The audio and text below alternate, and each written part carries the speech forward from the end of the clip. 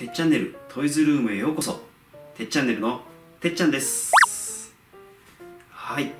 えっとですね今回も、え前回の動画に引き続きまして、えー少し前の、えフィギュアをですねまた紹介していきたいと思います。前回がですねドレスローザ編のドフラミンゴですね、えこちらのフィギュアを紹介したんですけども、え今回、え紹介するフィギュアはですね、えードフラミンゴの、え弟でありますあの方のフィギュアです、えーこちらになります。はい。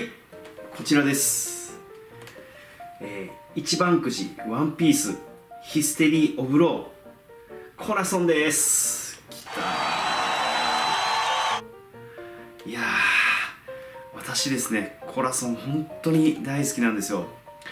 あのコラソンのですね、えー登場してるシーンっていうのは、えーそんなに多くないんですけど本当に、え印象的なシーンありましたよね。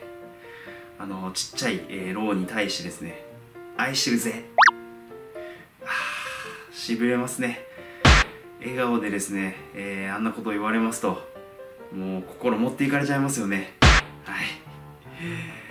はい、えーそういうわけで、え今回はですね、えコラソンの、えフィギュアを開封していきたいと思いますのでどうぞ見ていってください。はい。それではですね、えー早速開封していきたいと思います。あの前回のですねドフラミンゴの時はまさかの、えー録画ボタンを押すのを忘れるということで、えー開封中のですねちょっと様子がビデオを収めれなかったのがちょっと残念なんですけど今回はちゃんとボタンを押してますのでね。はい、えー早速ですね開封していきます。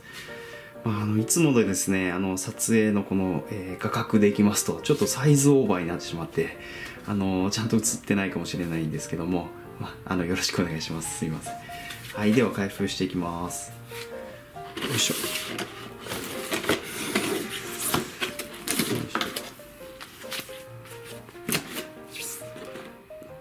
ですね、はい。私はですねえーっとこの箱というのはもう取っておかずにもう全部捨ててしまってます。あのフィギュアコレクターの方々でですねあの箱をですね置いておく方っていうのは結構いるかなと思うんですけどもあの私もできれば取っておきたいんですけどもあのスペースがですねあの部屋のスペースがそんなに余裕がなくてまあ物理的にちょっと置いておけないっていうことで、えもういつも、え処分してしまっています、ま今回もですね、まこうやってテープをですねちゃんと切りながらはい開けていくんですけどもあの処分はしてしまいます。よいしょ。よいしょ。はい。もうそれでできますね。これであそこ蓋になってるんですね。よいしょ。はい。リスターを出します。よいしょ。はい。出てきました。はい。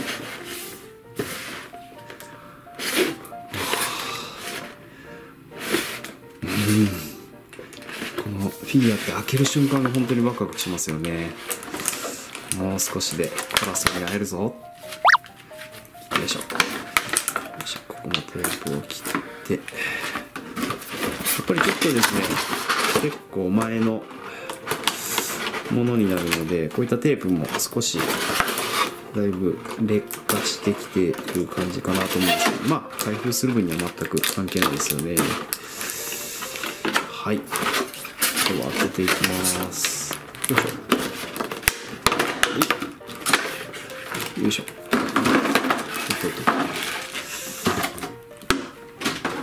よいしょ。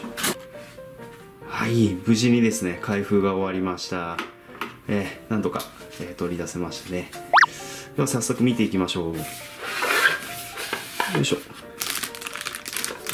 あ前回のですねあのドフラミンゴの時と同じように、えーと今回もやっぱりフィギュア本体とあとマントの部分でですねこう一個一個ちゃんと袋をこうつけてくれてますね。これはいいですよね。あの移動中なんかに、えー、マントと本体が、えー、擦れてですね塗装が映るっていうこともありえると思うんでこういった配慮はすごく嬉しいですよね。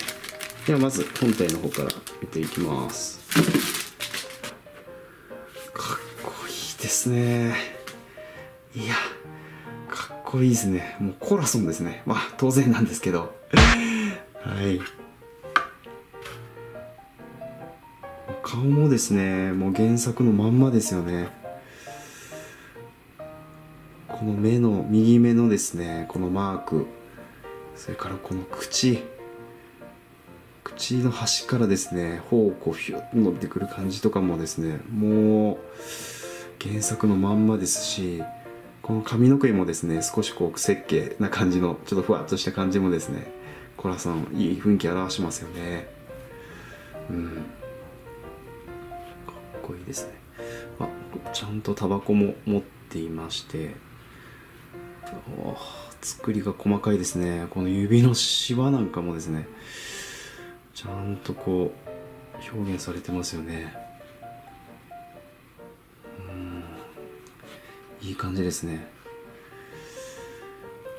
あシャツの柄ってハート柄だったんですね。全然私ちょっと意識してなかったんですけども。結構可愛いシャツ着てるんですね。うん。あ背中も、えー、ちゃんとハート柄のマークを入れて芸が細かいですよね。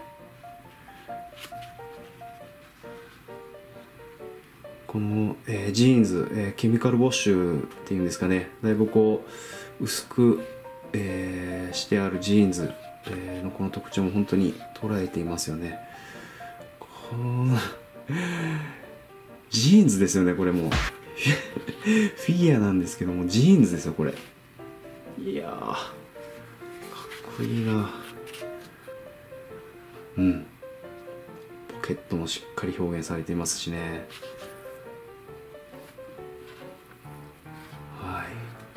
えー、革靴もですねこのブラウンの、えー、表現綺麗にしてますよね。ちょっとこうシワになってるところもですねこう黒く、えー、することでこうちょっとダメージ、え、がいっている状態を表しているのかなというのですごく綺麗に表現されています。いやいいですね。うん。いい感じやな。はい続いてマントを見ていきます。えー、マントもですねあのドフラミンゴの時と同じようにやっぱり本当によくできてますよね。毛ですよ毛。こ 真っ黒ですよね。うんもう一個一個丁寧に作ってますね。ただあの、前回のドフラミンゴのマントの方がですねあの、まあ、丁寧に塗装よりされてたかなというところですよね。あのベースがピンク色で、えー、毛先がちょっとこう紫っぽくこうグラデーションをかけてあれは本当に綺麗でしたよね。でも作りはですねこちらも負けず劣らずということで本当に細かく、うんえーと、造形されていると思います。はい、今回もですね、えー、こういった形で、えー、別パーツでマントを支える、えー、支柱のようなものがついてますね。あのドフラミンゴの時も、えー、同じものがついてたと思います。早速これもつけていきたいと思います。よいしょ。はい、この台の後ろにこういったちっちゃい穴がありますよね。こちらに、えー、刺していくんですね。こんな感じかな。よいしょ。うん。でこうしてあとはどうよいしょ。コラソンに乗せると。いった感じですかね。はい。乗せれました。よいしょ。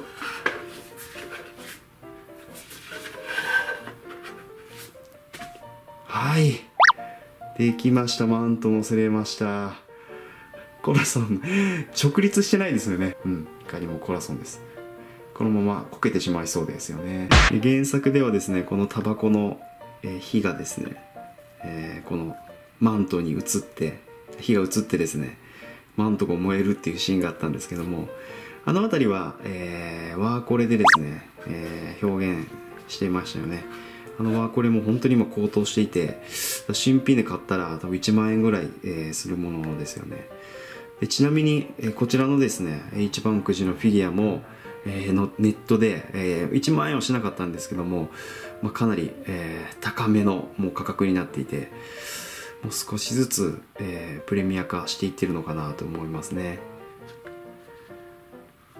えー、コラソン自身はですねもう亡くなっていますので、えーまあ、物語の中でですねこれから新しいストーリーには出てこないとは思うんですけども、まあ、ローのあの回想シーンとかですね、えー、でまた出るのをですねちょっと期待して待っておきたいと思います。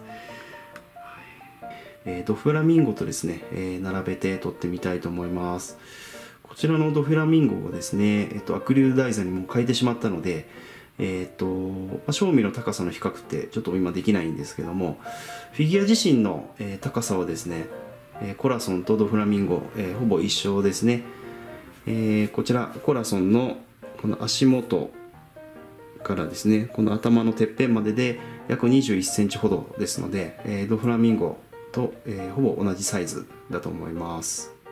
えストーリーの中でですねこの2人は、え、ほぼほぼ同じ身長だったと思いますので、え、こちらのフィギュアですね、え2体並べて、え飾るとですね、え世界観が、え作れていいんじゃないかなと思いますでさらにですね、えこの2人の間に、え私はですねあのグラメンのドレスローザ編のローをちょっと挟んでですねちょっと並べて飾ってみたいなと思ってますのでまたいつかですねえ、そんな様子も公開できたらなと思っています。